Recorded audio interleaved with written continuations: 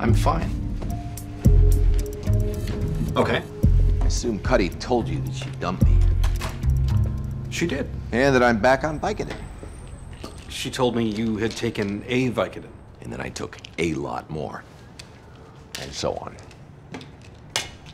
But you're fine. Well, I'm not fine as in fine, but I'm fine as in you don't have to worry about me. Because you cleared out your bank account, checked into a hotel, and started back on Vicodin. Because I'm going to be fine as in fine very soon. Until that happens, are you sure Vicodin is this? My leg hurts.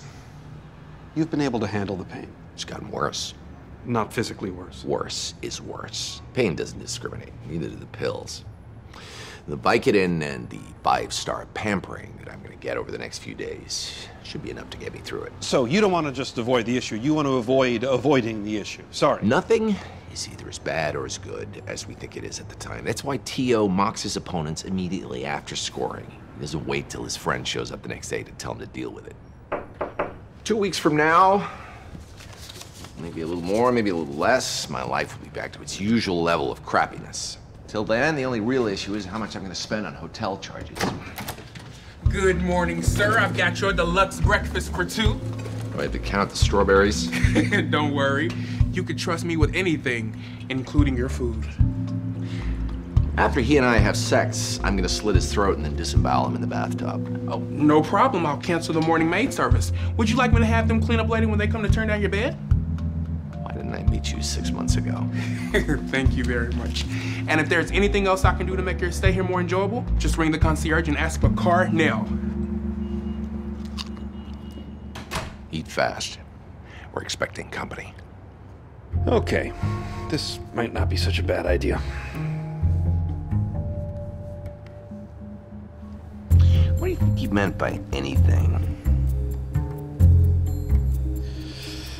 Take some time for yourself, relax. I know it's a figure of speech, but he really didn't seem to underline the anything. Maybe talk to someone.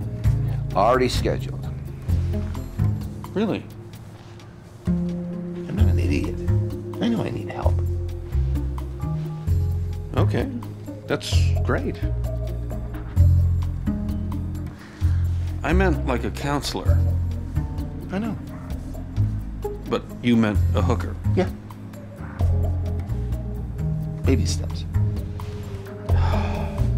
You knew he was an addict before you got involved. End the relationship. You knew he was an ass. I didn't end it You because. told him you did not want him to change. And I was wrong. You don't know that. You thought you were gonna die. Do you really think that was the right time to make this kind of decision? No. But I've thought about it. A lot. And I haven't changed my mind. He thought you were gonna die. Nobody knows the right way to react in that situation. Just give him another chance. He deserves it. I know. But this isn't about what he deserves. When things go wrong, I don't want to hope that I'm not alone. I want to know it. With House, every time I needed him to step up, it's just never gonna be that. It's not his fault, it's who he is. I should have known it. This is my fault.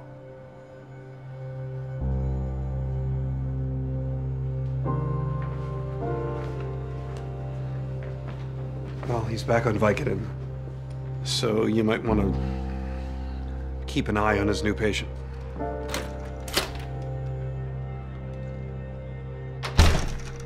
Please don't. That is a nice bow. That was a nice door. Put it on my tab. Let's say we take it up a notch. yeah, right. Very funny. Well, you don't trust me? No. I'll do it. And we have a gamer.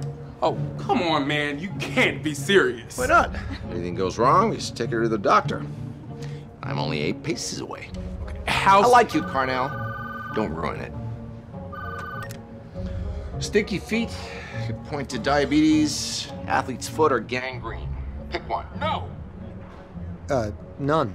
None of those cause bloody sputum or disappearing masses. No, no, no, no! You're gonna kill her. Don't that, Carnell. I get the idea that I'm shooting at a hooker.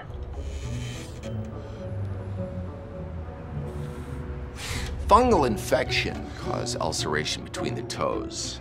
Bleeding can be from recurring abscesses that appear to be recurring masses. Symptoms in the head or feet mean the infection would have to be in the heart or the brain. I say we start by looking in the heart because looking at his brain with a metal plate is problematic. So's MRIing his heart. He's got a seven centimeter conductive metal rod holding his rib together. It'll rip him in two. No, I just feel like it's ripping him in two, which is much better.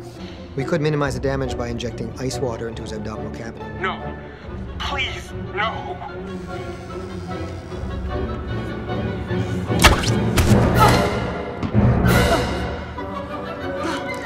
Oh, God! Oops. Gotta go. Call an ambulance! Why? What do you mean, why? She's hurt! She doesn't look hurt.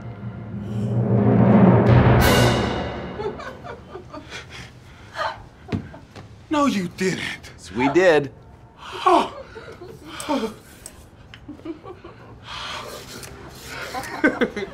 You're an ass. Okay, go get me uh, General Patton's Colt 45. The one with the two notches. He's not getting you a gun.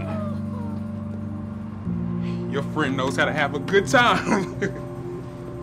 You were bored. You must have spent about two days setting up a fake murder, and you were bored. I'm fine. You're not. And I'm worried you might do something even stupider. Why don't you move back in with me? At least until you get back on track. What an ego. You think you're some sort of emotional paragon you might rock. I'm trying to be a friend. At least I have the good sense not to marry every woman I fall into bed with. Maybe you should move in with me. Either way, if you prefer. I prefer you to stop talking about this. House, we haven't even started talking about this, except to establish the fact that you're fine, which clearly you aren't. Leave me alone!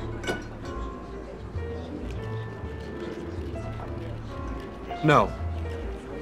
We are going to talk about this, and we're going to deal with this. I have no choice. Fine. Unless. Unless. Yes, I do. I do have legs. Guess you didn't factor those into your brilliant plan.